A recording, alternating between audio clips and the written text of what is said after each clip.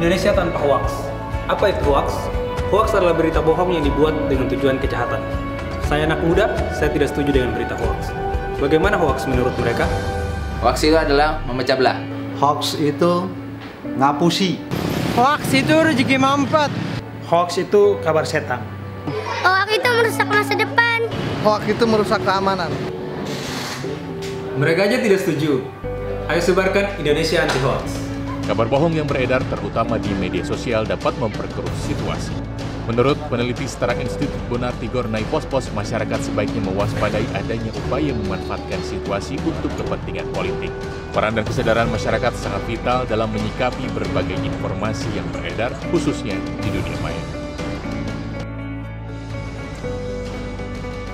Staf ahli Menkominfo Henry Subiakto mengungkapkan seseorang mudah menjadi korban berita hoax karena kurang kritis serta kurang memahami penggunaan teknologi dengan informasi yang telah diramu dengan konten fanatisme keagamaan.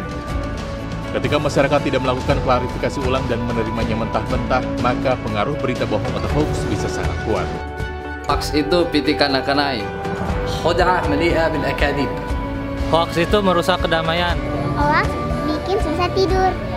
Hoax itu palsu. Hoax itu bikin emosi. Hoax itu pemecah suku. Hoax itu tidak mendidik. Hoax dimarahin mama. Hoax bisa merusak cita-cita aku. Mereka aja tidak setuju dengan hoax. Ayo ucapkan Indonesia anti hoax.